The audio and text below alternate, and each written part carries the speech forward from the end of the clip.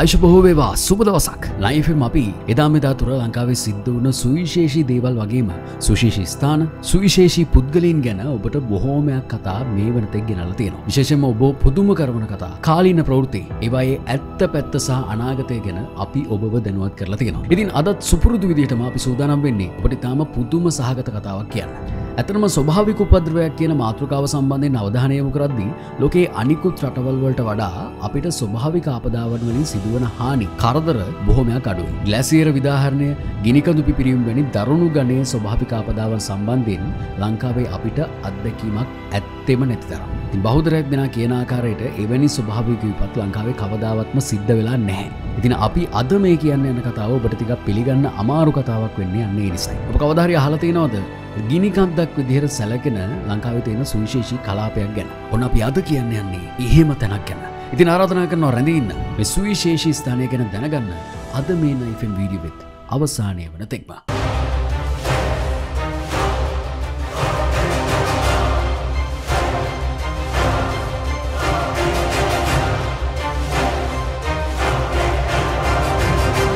අතීතය සඳහන් වෙන විවිධ තොරතුරු සහ සිදුවීම් මත ලංකාවෙන් ගිනිකඳු පිහිටා තිබුණා කියනදේ.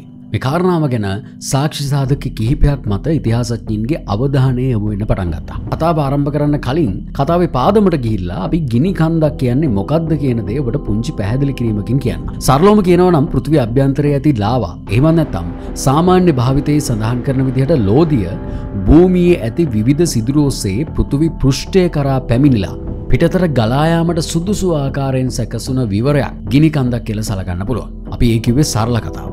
තින් මේ කතාවෙන් අපි අපේ මාතෘකා පැත්තරාවොත් මෙවිදිර මැග්මා ගනී භවනය වෙලා නිර්මාණය වුණ ගිනිකන්දක් විදිහට ලංකාවේ සමනල කන්ද අඩවිය ප්‍රදේශයේ පිහිටල තිබුණ බව ඉතිහාස කතා අතර සමහරක සඳහන් වෙන මේ සිදුවීම සිද්ධ වන බවට සඳහන් වෙන්නේ රාවනා රජ සමේති. සමනල කන්දී මුදුනේ ඉදල බලන ඕනම කෙනෙක්ට ඉතාම ලස්සන කඳු ගැටයක දර්ශනයක් බලාගන්න හැකියාව තියෙන. ඉතින් ඒ සුවිශේෂී ස්ථානය අදටත් හඳුන්වන්නේ කුණු දිය පව් එහෙම නැත්නම් කුණු දිය පර්වතය කියලා. කුණු දිය පර්වතය උසින් මීටර එක්දහස් නවසයකටත් වඩා වැඩි දුෂ්කරතාවයන්ගෙන් පිරිච්ච භූමි ප්‍රදේශයක් විදිහටයි සලකන්නේ. සරලවම කියනවනම් මේ කන්ද නගින්න ස්තීර අඩි පාරක්වත් නැහැ. මේ අපහසුතාවයන් නිසාම සිරිපා කඳු පාමුල ජීවත්වන පලාබද්දල ඉරත්න ඉදුරුව මපලාන මේ වගේ ගම්බල ජනතාව කුණුදිය පර්වතය මුදුනට වැඩි වශයෙන් ගිහිල්ලත් නැහැ. කොමනමුත් රාවණ රජතුමාගේ යුගයේදී සමනල කන්ද ආශ්‍රිතව පිහිටලා තියෙන මේ කුණුදිය පර්වතය සක්‍රීය ගිනි කන්දක් විදිහට ක්‍රියාත්මක වෙලා තියෙනවා කියන දේ ඉතිහාස කතා අතරින් අපිට අහන්න ලැබෙනවා. හරියටම කිව්වොත් මේ පර්වතය මුදුරෙන්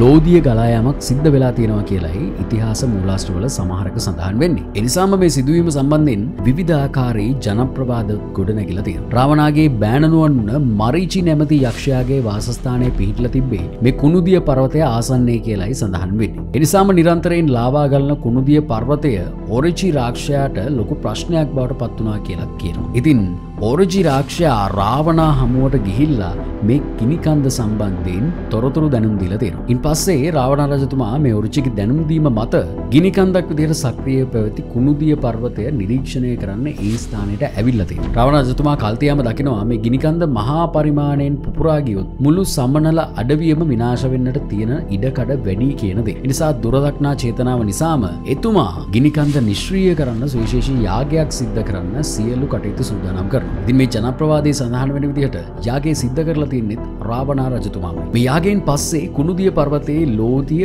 උණුදිය බවට පත් වෙලා තියෙනවා කියලා සඳහන් වෙනවා. එනිසාම ඒ කාල සීමාවේ මේ කලාපයේ උණුදිය පර්වතය විදිහට ජනතාව හඳුන්වන්න පටන් ගත්තා. නමුත් වර්තමානය වන විට මේ සුවිශේෂී ස්ථානය කුණුදිය පර්වතය කියලයි හඳුන්වන්නේ. ඉතින් අතීතයේ තිබුණු ගිනිකන්දක් සම්බන්ධයෙන් මේ කතාව ටිකක් විශ්වාස කරන්න අමාරු පදනමක් රහිත කතාවක් විදිහට කෙනෙක්ට හිතන්න අවස්ථාව බොහොමයක් වැඩි. නමුත් යම් යම් සාක්ෂි සාධක සලකා බලද්දී එතකම මේවට ගෙතුණු මිත්‍යා මතිමතාන්තර පිළිබඳව අවධානයමු කරද්දී අනිවාර්යෙන්ම කුණුදිය පර්වතයක් තිබුණා කියන දේ ගිනිකන්දක් පිළිබඳව යම් කිසි විශ්වාසයක් ජනතාව අතර ඇති කරන්න හේතුවක් වෙලා තියෙනවා. එම කියන්න ප්‍රධානතම සාක්ෂයක් තමයි මේ කුණුදිය පන්ද පාමුල එදා ඉඳන් අද දක්වාම ජනාවාස කිසිම දෙයක් ස්ථානගත වෙලා තිබුණ කියලා කිසිම සාක්ෂයක් නැති එක. ඉතින් සමනල අඩවී කියන්නේ සුවිශේෂී ස්ථානයක් නිසාම බහුතරයක් ඉතිහාසඥීන්ගේ අවධානය මේ කලාපයට යොමුවීමත් සාමාන්‍ය දෙයක්. මාචාරය මිරෙන්ඩෝ බේසේකරගේ අදහසුලට අනුව සමනල අඩවි ආශ්‍රිතව කොයිතරම් පර්ේෂණ සිද්ධ කළත් කුණුදිය පර්වතය ආශ්‍රිතව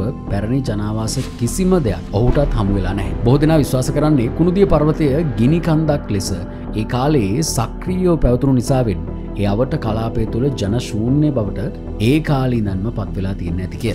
ඒවගේම තමයි කුණුදිය පර්වතය තිබුණු ගිනිකන්දේ දැඩි රශ්මය හේතුවෙන් එයාවට කලාපේ ගෙව්ඩ නැමති මැනික් විශේෂයක් නිර්මාණය වූ බවට ජනප්‍රවාද අතර සඳහන් වෙලා තියෙන. සමනල අඩවිය පිහිටල තියෙන්නේ රුවන්පුරේ කලාපය කියන්න බහුතරයක් දෙෙන දන්න කතාවක්. ඉතින් රුවන්පුරේ එමන තම් රත්නපුරේ වැඩි වශයෙන් ප්‍රසිද්ධ මැනික්වලට. මෙයාකාරයෙන් වැඩි වශයෙන් රත්නපුර අවටින් මැනික් විශේෂ හමුවීම රාවනා යුගේ විධාරණය වන මේ කුණුදිය පර්වතයේ බලපෑම නිසා සිද්ධ වෙනවා කියලයි සමහර ජනප්‍රවාදවල සඳහන් වෙන්. මේකට විද්‍යාත්මක පදනමක් සහිතව අවධානයමු කොළොත් මැනික් කියන පාශානය නිර්මාණය වෙන ආකාරය පිළිබඳවත් පිට ඉතාම කෙටි අවධානයක් දෙන්න පුළුවන්. වල දන්නවත මැනික් කියනදේ කොහොමද නිර්මාණය වෙන්න කිය මෙන්න මෙහෙම. පොළොව අභ්‍යන්තරයේ තියෙන ලාවා සහ ඒ අවට පරිසරය ඇති උෂ්ණත්වය සහ පීඩනය සමඟ සිද්ධ වෙන දීර්ඝකාලීන රසායනික ක්‍රියාවලයක ප්‍රතිඵලයක් විදිරතමයි මෙන්න මේ මැනික් නිර්මාණය වීම සිද්ධ වෙන්නේ. එවගේම පොළොව මතුපිට පැමිණෙන ලාවා ගනීභවනය වෙලා විවිධාකාරයේ කනිජ බවට පරිවර්තනය වෙලා